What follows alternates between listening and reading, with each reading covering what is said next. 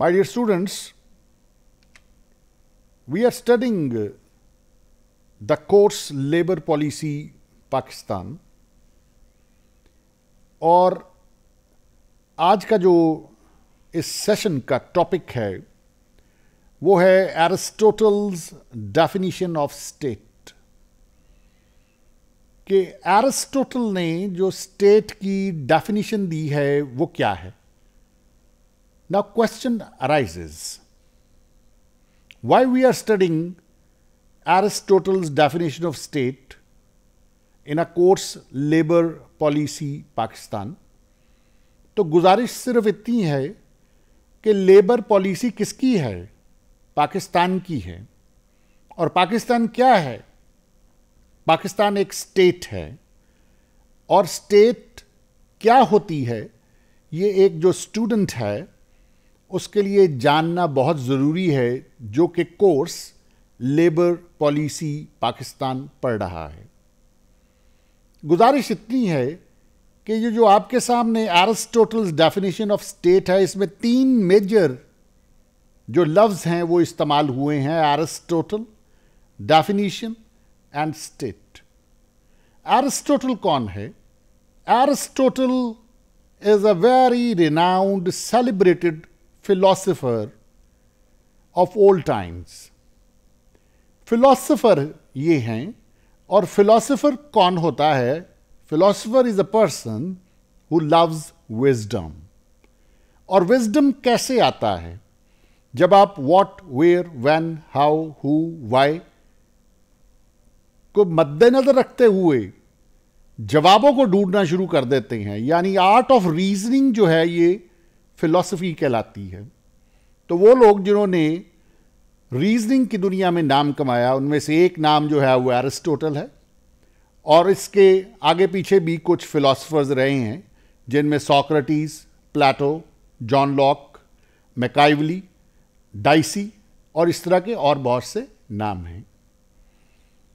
Definition क्या होती है? Giving description of a thing by its properties is definition.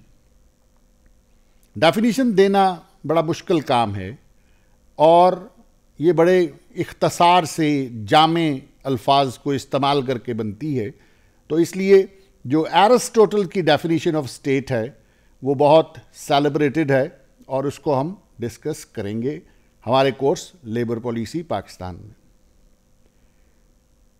Dear students, before I begin with discussing Aristotle's definition of state, कुछ points हैं जो मुझे बड़े रेलेवेंट लगते हैं वो आपके साथ डिस्कस कर लूँ our own observations tell us that early polis is a community of persons formed with a to some good purpose यहाँ पर जो लफ्ज है पॉलिस इसका मतलब है स्टेट यहाँ बताया जा रहा है कि हर जो स्टेट है, वो इस वास्ते बनाई जाती है ताकि कोई अच्छा ऑब्जेक्टिव अचीव किया जाए। सवाल ये है कि अच्छा ऑब्जेक्टिव क्या होता है? स्टेट कोई अच्छा काम क्या करेगी?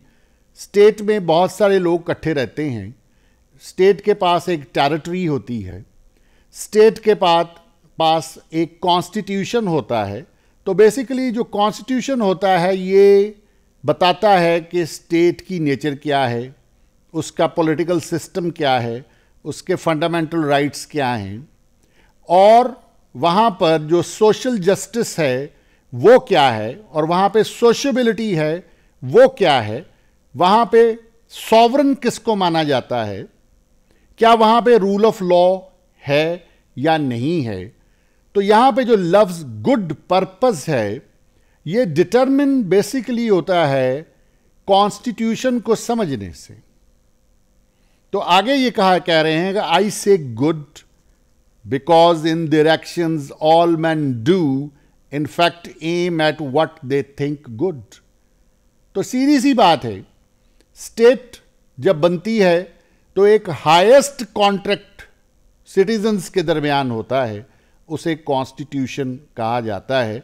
और कॉन्स्टिट्यूशन इस बात को डिटरमिन करता है कि हाईएस्ट गुड जो एक्टिविटीज़ हैं, वो की जाएँ, और जो सिटीजन्स हैं, वो अपनी लाइफ जो है, वो पीसफुली और सोशल जस्टिस के मुताबिक गुजारें। इसका दूसरा पॉइंट जो है clearly then all communities aim at some good इसमें यहाँ पर एक छोटी सी बात यह भी आती है कि एक स्टेट के अंदर भी बहुत सारी कम्युनिटीज होती हैं। जैसे सोसाइटी है, जैसे एनजीओ भी कहा जा सकता है, जैसे क्लब है, जैसे कोऑपरेटिव हाउसिंग सोसाइटीज़ हैं, और जैसे कंपनीज़ हैं ये भी कम्युनिटीज़ हैं। लेकिन इनके जो ऑब्जेक्टिव्स हैं, इनके जो हाईएस्ट गुड्स हैं, वो इनकी जो कम्युनिटी के मेंबर्स हैं, वो डिटरमिन करते हैं। जैसे कंपनीज़ का काम है इकोनॉमिक एक्टिविटी क्लब्स का ना काम है सोशल एक्टिविटीज़ और सोसाइटीज़ का काम है लोगों की वेलफेयर के काम करना।